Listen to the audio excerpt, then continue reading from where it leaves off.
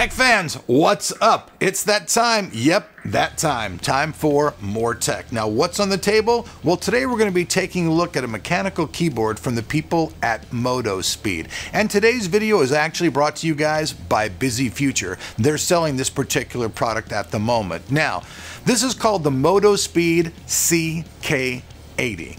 Now, this is a full mechanical keyboard, 104 keys, full on RGB. Um, it's a really nice keyboard coming to market at about $71. You may be able to find it on sale. And luckily, at the end of this video, I'll have a coupon code down below where you guys can save even more money. So you guys are going, okay, Elric, who is Moto Speed? What is the CK80? What are you talking about? Okay, like I said, it's a mechanical keyboard. 104 keys. The look of it is actually really nice. It features two different tones. You have a silver and a black tone. The RGB lights, they permeate all around the edges of the keyboard. They're also underneath all of the keys. So this is actually pretty cool. It also has full N key rollover and 50 million clicks. Now, I don't know about you, but I type about, you know, 30 words per minute, so that's going to like last me for what? Three lives and 50 deaths if I just keep going. So pretty much um, durability the keyboard's going to last you a long time. Now, it is made of plastic, but the plastic isn't a cheap plastic whatsoever. The plastic's actually pretty durable. It's a really nice solid plastic. Now, if you take a look at the bottom of the keyboard, you're going to see that there's a couple of little things you click out. If you like your keyboard to sit flat, you don't have to use it. Me personally, I like my keyboard to be more at an angle, so I'm going to be using these two little feet whenever I use the keyboard. Now, flipping it back onto its top side, you guys can see that in the far left upper corner, there's this little wheel. Now, this little wheel actually functions for two different things. The wheel can be used to either raise and lower the light which means, you know, dim or make it brighter. And you can also click it again, and this will be the volume control as well. So you control both the volume and you control your RGB brightness and everything all from this particular switch. Now, all of the keys and the layout on this keyboard are pretty much the same as any keyboard you've seen out there. I mean, really, and I mean, it's no really reinventing the wheel when you're making a keyboard for the Windows environment. It also has a 10 key numpad, so if you're a fan of that as well, it has that. Now, it's kind of interesting. If you take a look at the Busy Future website, you're going to see that this particular product actually has three different types of switches that are available. It has the silver Okium switches, it has the gold Okium switches, and then it has what's called a Zeus. And this Zeus switch is supposed to be water resistant as well.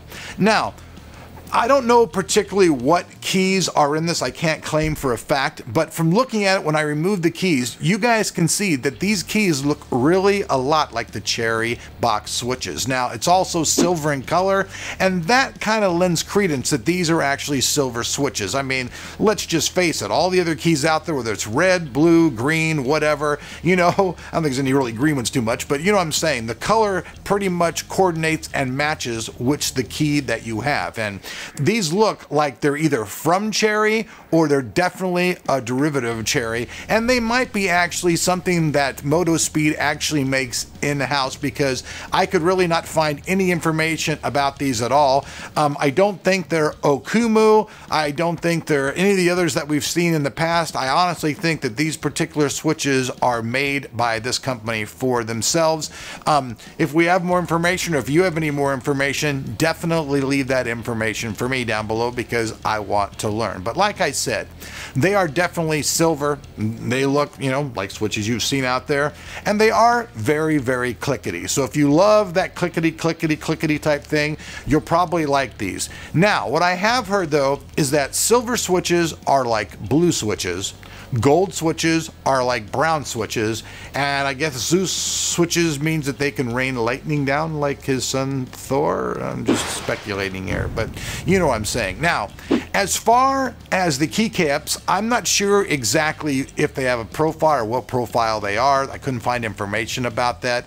They are made of plastic. They're also two-tone. 90% of it is black. The other part of it is clear. This is so that RGB lighting can actually come through the keyboard.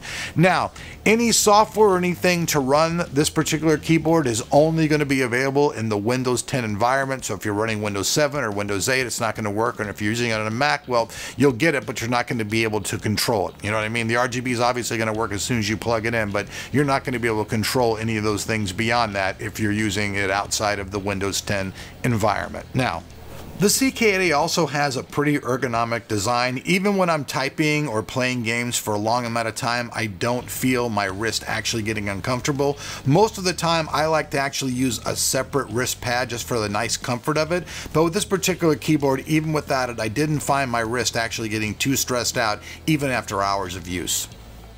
At the end of the day, this keyboard definitely works. I mean, it's a mechanical keyboard. If you've ever used a mechanical keyboard out there, they definitely have their own type of feel. Me personally, some of the membrane keyboards from back in the day I thought were just really unbelievable. There were very few that I found that I liked, but the few that I did really like, I really enjoy them for typing and doing stuff. But mechanical keyboards, like I said, have their own feel. This keyboard feels well made. It doesn't feel any cheaper made than by a keyboard, say by a big name company that costs 160 bucks. You got, you know what I'm saying? You know, Razer. Um, excuse me.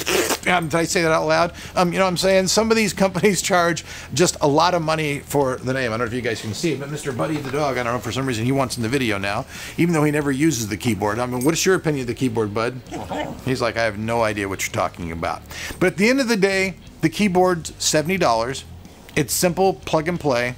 It's got RGB. Like I said, 50 million keystrokes before the keys are supposed to go bad, unless let's just get bad luck. That's going to last you forever. Let's just face it. Full N key rollover, which means that if when you're inside of a game, you're playing and you hit a bunch of keys at once because you're just crazy trying to do something, and you accidentally hit a bunch of keys you weren't supposed to, it's not going to freeze up, not cause you any problems whatsoever.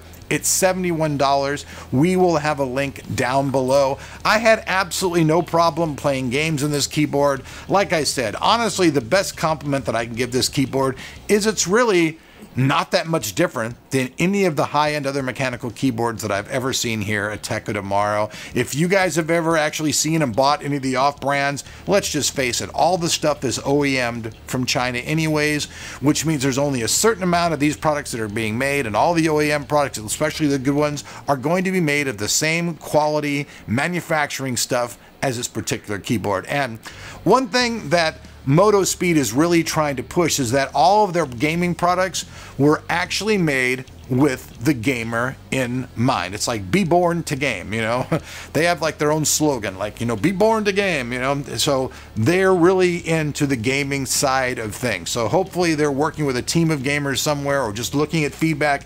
I mean, let's just face it, all you gotta do is go out and pay attention to forums and see what people are complaining about and what they want in a keyboard. And you can go to the drawing board and make one yourself. I mean, if you've got the manufacturing capabilities and you got the companies to do it with, you can do it as well. So I'm Elric. Thanks for watching Tech Tomorrow.